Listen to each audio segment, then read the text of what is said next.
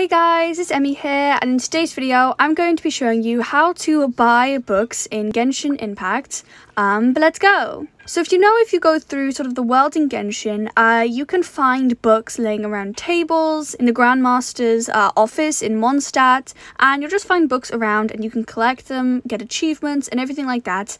But it is actually a place where you can buy the books and mostly some whole volumes and save yourself sort of going around and finding all these different people and places to collect the full collection. So this will be in Inazuma. You will need Inazuma to find this, and you're going to want to go to this location right right here in Inazuma City. So right here, kind of near the blacksmith and the shop looks like this. Now it's called Yay Yae Publishing House. If you talk to this person here, press, I'm looking to buy some books.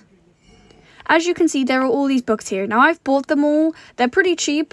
As you can see, this is how much they cost. And there's a whole volumes of books here that you can actually read them. They have full plots, stories, and everything in them, and it's actually really cool. There's even one about Fischl in here. Now, once you've bought them, they won't be in the normal place where you'll find sort of quest books. Uh, for example, here, they will not be here. If you open up your menu section here and then press Archive, uh, it's the one uh, under Shop, and then scroll around to Books, tap on Books, and you'll have all the books you've collected and you can read. So as you can see, these are all the volumes. There's the official one, there's the Princess Mina of the Fallen Nation. This one actually, I think, has hints about the Khaenri'ah plot or lore in it, which is pretty cool. There's all these books, you can read them, and it just is a cool collection. But I hope you liked this video. If you did, don't forget to give it a like, subscribe, and hit the notification bell so you're notified every time I do a video, and comment down below what you would like to see next. And I'll also be streaming, I'll also be streaming Genshin and other games over on my Twitch,